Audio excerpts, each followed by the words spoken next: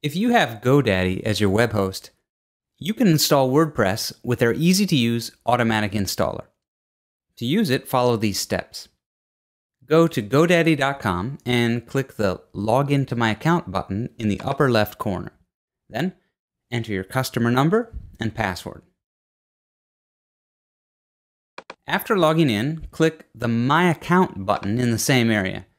This will take you to your main account page, which has the various areas organized in a tab structure.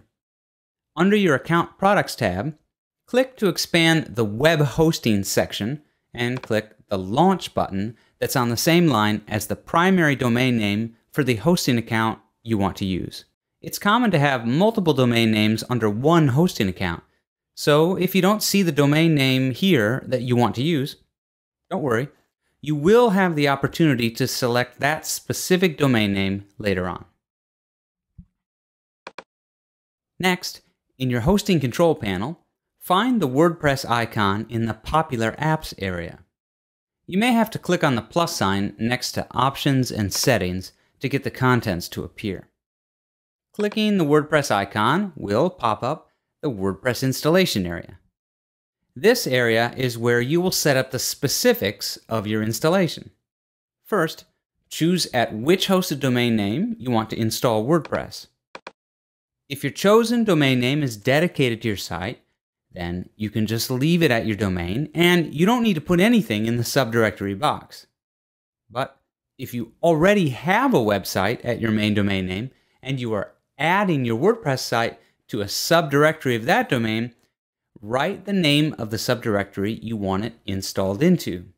This could be blog, journal, WordPress, really whatever you like.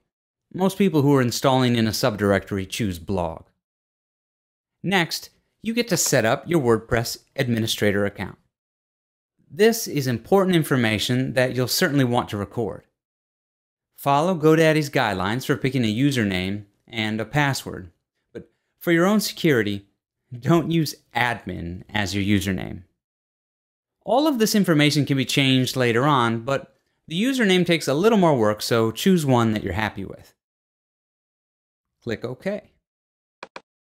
Immediately, you'll see a little pop-up in the upper right corner of your screen indicating that GoDaddy has begun your WordPress installation.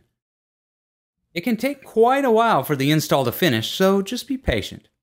When it's done, another pop-up will appear in the same place letting you know.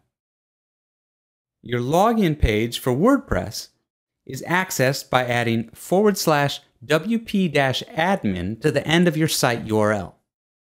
Now, all that's left is to go there, log in, and install ProPhoto.